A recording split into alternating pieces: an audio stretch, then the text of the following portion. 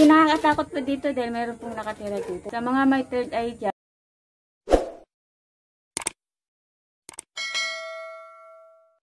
Good morning guys. Today is Wednesday. May gagawin tayo guys. Kasama. Siyempre isasama namin kayo. Bababa kami sa silong kung saan maraming kahoy dito. Kasama ko ulit si si Mitch. Hi guys! Yan siya Mitch. Nandyan siya. Ayan, hello po guys! Yan. So, bababa po tayo dito. Maghanap tayo ng kahoy na gagawin namin po. patungan ng mga paso. Siyempre, kasama kayo, no? Manood lang kayo dyan at kami ang bahala sa palabas. So, may nahanap na si Mitch na Yes. Ito po, may nahanap na po akong kahoy. pwede to. Yan. Yan. Hindi pa to ayos, guys.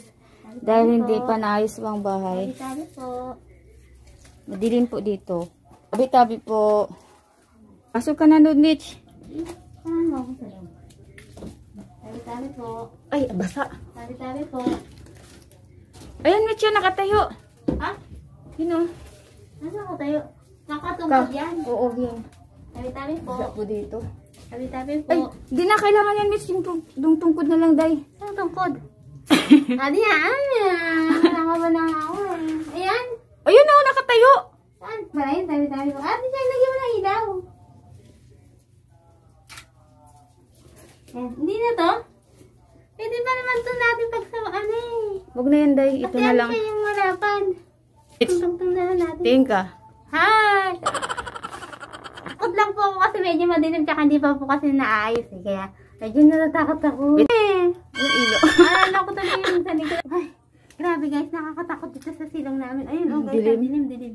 Nakahanap na kami ng kahoy. Ito nga ng mga paso.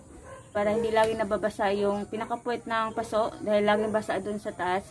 So ito, naghunting kami dito sa ilalim ng bahay. Nasa ng bahay namin. Oo.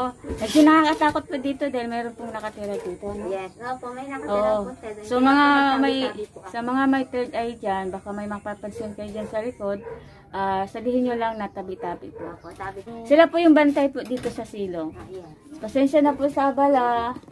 Ayan guys, sakit na po kami para gawin na po namin yung tungkod ng mga bulaklak. Ito na tayo sa taas.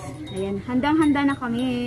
Gloves para hindi maipit. Yes, meron na po kaming gloves. At andito na po yung mga kagamitan namin. Meron kami Mga gagamitin po namin. Meron kami mga pako na maliliit. Meron din kami pako na discordos.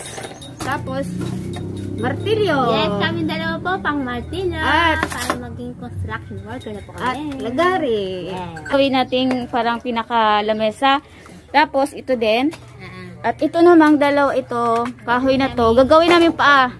At dito natin nilalagay, dyan sa gilid na yan. Papatungan natin dahil ito, konting ulan lang, may baha na dyan. Eh, gawin natin ganyan eh, patungan. Kaso mataas lang to. Ito naman kahit mataas na lang ng konti, basta hindi lang siya prone sa tubig. Okay?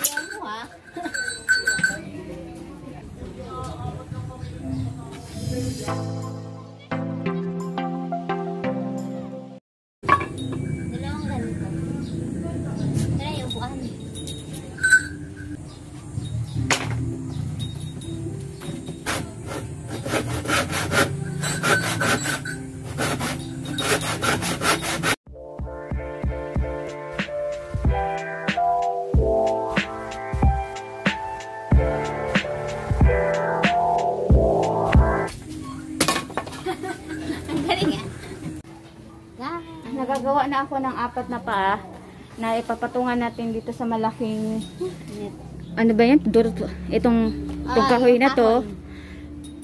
So, natin gawin, pap- ipapako na natin to.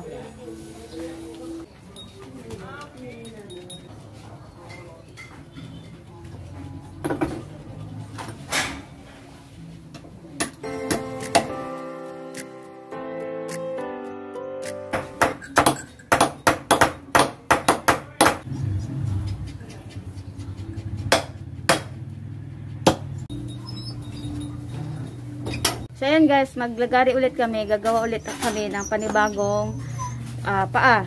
Naglagay na ako ng panyo dito dahil wala, madaming ano dito pawis pupunta sa mata. Eh, ang, ang, ang anghang. Maasim. Maasim. Ayan na guys, nagawa na namin yung isa. Ganito lang kasimple. Ganyan lang po. Ayan. Itong ganyang haba. Tapos may paa dito. Ayan. Papato kahit lang mataas na ng konti dito para lang hindi, hindi maabot sa tubig. Dito papat ipapatong namin dito yung mga paso. Yung paso na yan.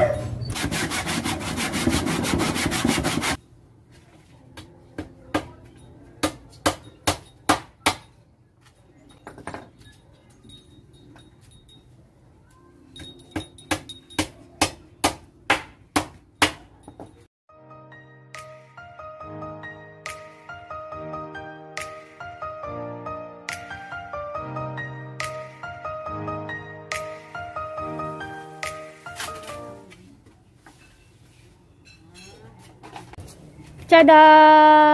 Tapos na Tan tan tan tan tan. Nakita niyo na po ba ang aming ginawa? At dahil lagi po dong basa dito pag halimbawa yung nag idilig ako tas yung nga yung natapong tubig dito, nagsistock siya, hindi agad-agad nawawala. So, eh, ang puwet nun sa ilalim nun, eh, may mga ugat na, eh, may mga halaman na ayaw nila ng na, na-overbasa ba, kaya, i-ano ko na sila, yung itataas na konti.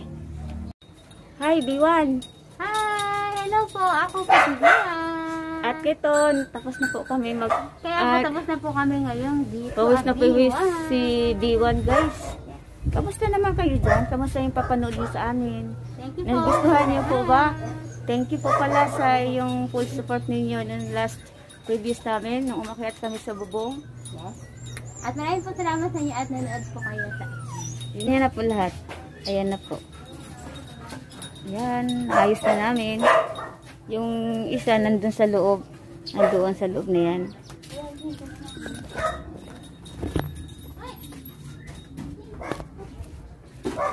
Tapos yung pangalawa namin gawa, dito naman sa maliliit. So, kahit magbaha yan dyan sa ilalim, di na mababasa yung ugat lagi. Kasi mayroon na siyang medyo tinaas ko na ng konti. Hindi na babad. Maliban na lang dito sa isang paso, hindi kaya. So, dyan lang siya sa gilid. Tinaas ko talaga yung mga rose kasi ayaw nila yung nakababad sa tubig. So guys, natapos na po namin lahat. Yung project namin, kami ni Mitz at tinulungan kami ni Happy yung very light light lang. So that's that's all for today. At yan lang po yung aming vlog. Sana nagustuhan nyo at please kung nagustuhan nyo please like, Like and and subscribe. share. Kung baguhan ka pa lang sa aming channel, Subscribe na po Ah, kayo. consider na rin na mag-subscribe kayo mga guys. Ah, this is your friend, siyang at saka si Mitch. Bye.